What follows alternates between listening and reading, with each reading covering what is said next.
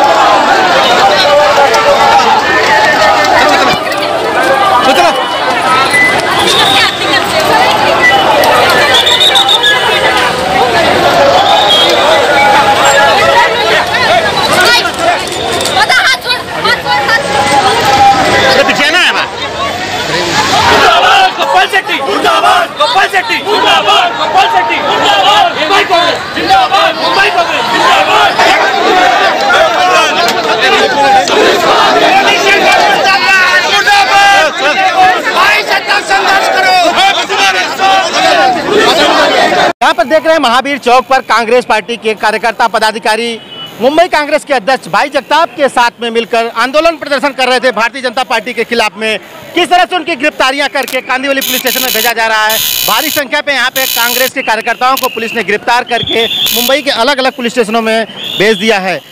दरअसल, यह मामला है, प्रधानमंत्री ने जो संसद में बयान दिया था कोरोना काल में कांग्रेस ने यहाँ से मजदूरों को पलायन में मदद की। कांग्रेस जिम्मेदार है इसके लिए। इस बात को लेकर कांग्रेस के कार्यकर्ता नेता काफ़ी आक्रोशित हैं। भाई जगताप जी के नेतृत्व में आज वो भारी संख्या में यहाँ पे आंदोलन प्रदर्शन किए और भाई जगताप को भी यहाँ पे पुलिस ने डिटेन किया है। उन्हें कांदी पुलिस स्टेशन लेकर गई है। इसके बारे में मैंने इसके पहले भी कहा था। ये दूसरा वाकया है। देश के प्रधानमंत्री नरेंद्र मोदी जी ने जो मुंबई के बारे में वक्तव्य किया था उत्तर भारतीयों के बारे में वक्तव्य किया किया था। महाराष्ट्र के छत्रपति शिवाजी महाराज की इस धरती के बारे में वक्तव्य किया था। उसका हमने निषेध उसी दिन किया था और उसके खिलाफ हमने ये आंदोलन इसलिए भी छेड़ा है, हमने देश भर क्या हुआ हमें मालूम नहीं। लेकिन मुंबई से जो चुन के जाते हैं जो जो खासदार यहाँ के हैं एमपी यहाँ के हैं, जो मंत्री महाराष्ट्र के हैं, वो जब ये बातें प्रधानमंत्री कह रहे थे, तब बेंच बजा रहे थे और तालियाँ बजा रहे थे। तालियाँ मारना उनका पुराना धंधा है। वो बस इतना ही काफ़ी है। ये एक वक्तव्य काफ़ी है। Shankar Singh, metro India news, Mumbai.